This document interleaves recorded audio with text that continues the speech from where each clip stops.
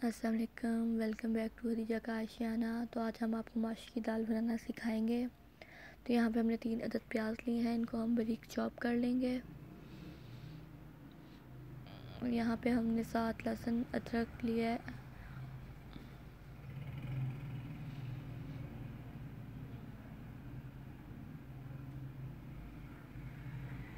इसको भी हमने बारीक कर लिया है, लहसुन, अदरक को।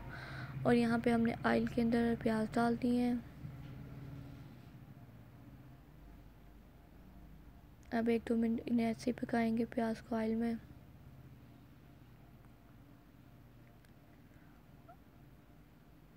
और यहाँ पे मैंने दो बड़ी इलायची ली हैं। एक दालचीनी का टुकड़ा और तीन छोटी इलायची ऐड कर रहे हैं इसमें।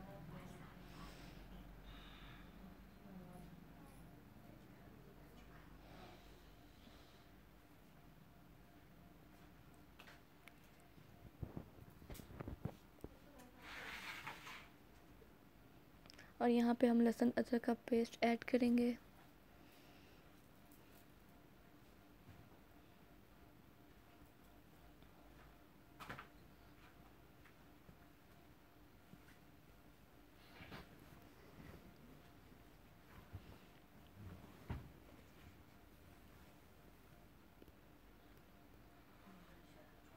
और यहाँ पे हमने तीन टमाटर लिए हैं इनको ग्रैंड कर लेंगे पेस्ट बना लेंगे।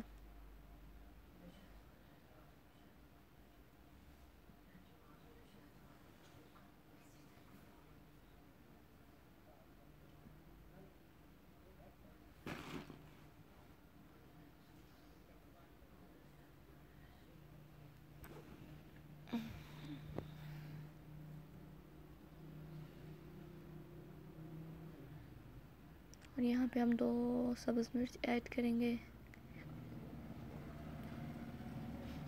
थोड़ी सी हल, हल्दी ऐड करेंगे। और भी टेस्ट के हिसाब से नमक ऐड करेंगे।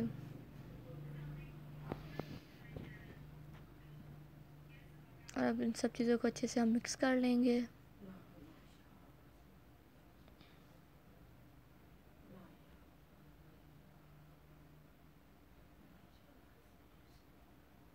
कितना खूबसूरत इसका कलर आ गया है। और यहाँ पे हमने उबा, दाल रखी उबालने के लिए। इसको हम 50 परसेंट उबालेंगे। इसको फुल उबाइल नहीं करना, वरना ही बिल्कुल ही मेल्ट हो जाएगी, खिचड़ी बन जाएगी। अगर फुल उबाइल किया ना इसको इसको हाफ़ ही रखना उबाइल 50 परसेंट तकरीबन।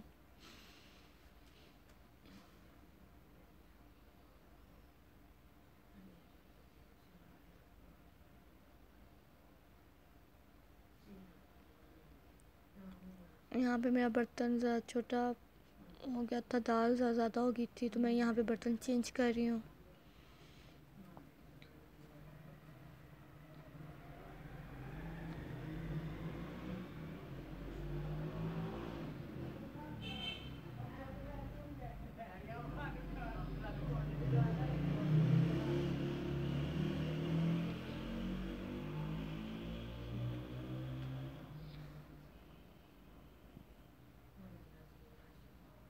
और यहाँ पे हमने जो दाल उबाल के रखी है, इसको इसमें ऐड कर देंगे।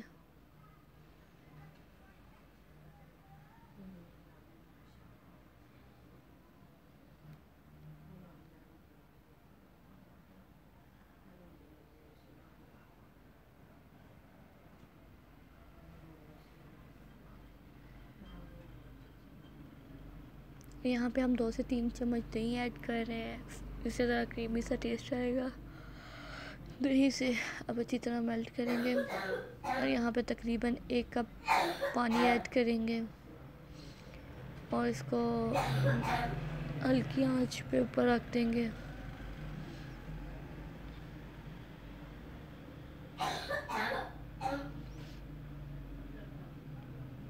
अब ऊपर से इसको कवर दे के तकरीबन पंद्रह से बीस मिनट के लिए छोड़ देंगे।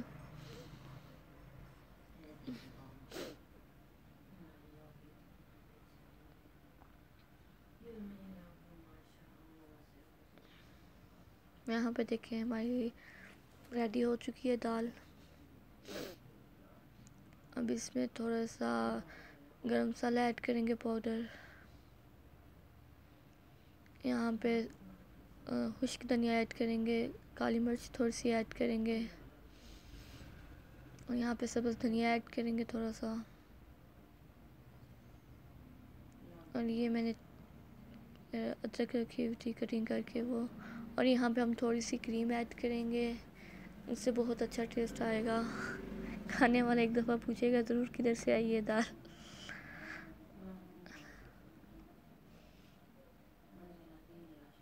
देखिए, माशाल्लाह, कितना अच्छा इसका कलर आया है। टेस्ट मतलब देखने में इतनी अच्छी लग रही है। टेस्ट भी काफ़ी अच्छा है। मेरे चैनल को सब्सक्राइब कीजिएगा। थैंक यू सो मच मेरी वीडियो वॉच करने के लिए।